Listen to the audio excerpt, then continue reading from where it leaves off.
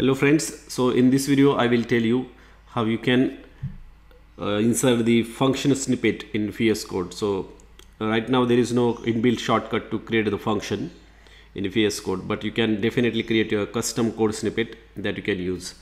So basically uh, let us say you want to create a function.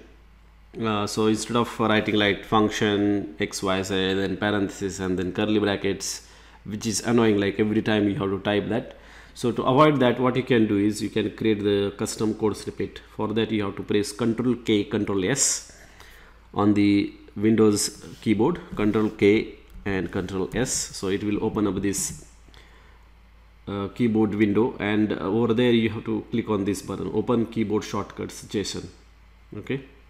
So if you click on that what happens is uh, this particular thing will open and here you can create basically an array. This is an array okay? And in that array you can add the custom snippet object. So this is one object.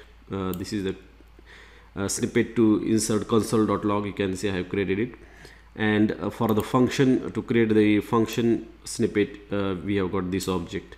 So basically what you need to do is you need to give the key binding here. So you can give any custom key binding here that you like so I have given control shift F because F stands for function. Here uh, to log like console.log I have given control shift L. And this thing command and when this thing will be common in both the cases. Like whenever you want to insert the snippet this thing will be common. Basically we are telling that when the editor text focus is there you have to insert the snippet. Now which snippet? We have to give this snippet here so basically uh, here we are telling okay uh, when user presses Ctrl Shift F. It should add this snippet which says function and then this custom uh, tm underscore selected text dollar one. This means that whenever you will press Ctrl Shift F it will create the snippet and then focus will go to the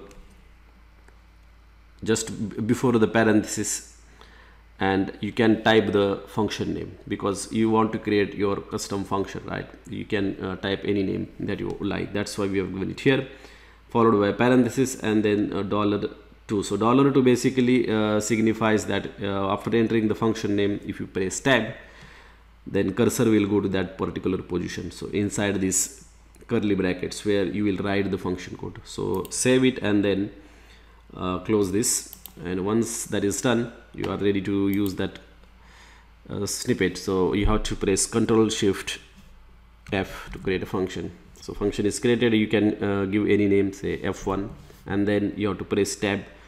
So remember that we had given dollar 2 so if you press tab it will go to the dollar 2 location which is inside the curly brackets. You can write here code whatever uh, you want to write say var a. And then uh, just type whatever co code you want to do uh, like write in that uh, function body and then if you press tab it will come out of that uh, curly brackets. That's it. It will save you a lot of time. So this console.log and function these two snippets are very important because many times you would like to uh, use this thing in your code. That's why these code snippets are very important. So I'll just quickly show you once again.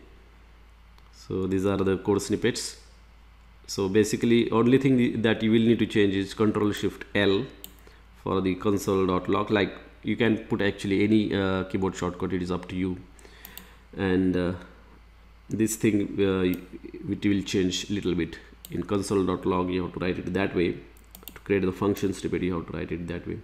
And on the similar lines you can create other uh, code snippets as well as you wish if they are not available. Sometimes built-in code snippets will be there there are a lot of VS Code extensions as well that you can use but sometimes you have to just create your own custom snippets as well. So this trick, uh, trick will be very useful for you. Thanks for watching